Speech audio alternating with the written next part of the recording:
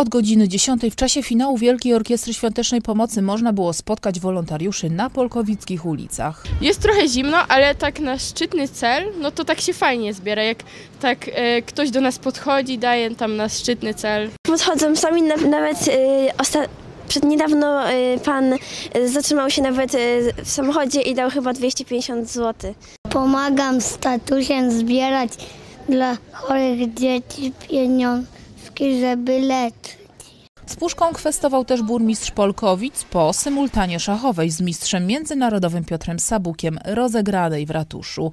Wyzwanie to podjęło 10 osób. Nie udało się mistrza pobić, e, ale po, poziom zawodów był bardzo wysoki. Cieszę się, że tak dużo osób wzięło w tej symultanie udział i że zagraliśmy dla orkiestry. Gramy razem wszyscy e, jako wspól- wspólnota e, i cieszę się, że tak dużo wolontariuszy, że tak dużo osób jest zaangażowanych w tegoroczny finał. W wiatraku były warsztaty piernikowe, w kinie koncerty i występy, w akwaparku rodzinne zawody pływackie, a w rynku można było się posilić. Obok w atelier 4 za wrzut do puszki można było wziąć udział w grach bez prądu, nabyć książkę z biblioteki lub prace malarskie z cyklu Sztuka pod arkadami. Sprzedajemy obrazy naszych twórców lokalnych. Są to artyści polkowiccy, którzy od wielu lat e, prowadzą, e, uczestniczą w wielu akcjach, między innymi tych charytatywnych. Ja gram od 30 lat, czyli tak naprawdę e, pie, pamiętam pierwszą Wielką Orkiestrę Świątecznej Pomocy i dzisiejszą 30. jubileuszową,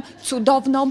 W Polkowicach dzielono się nie tylko datkami, ale najcenniejszym lekiem, jaki można ofiarować innym. Z orkiestrą y, gramy już 26 rok.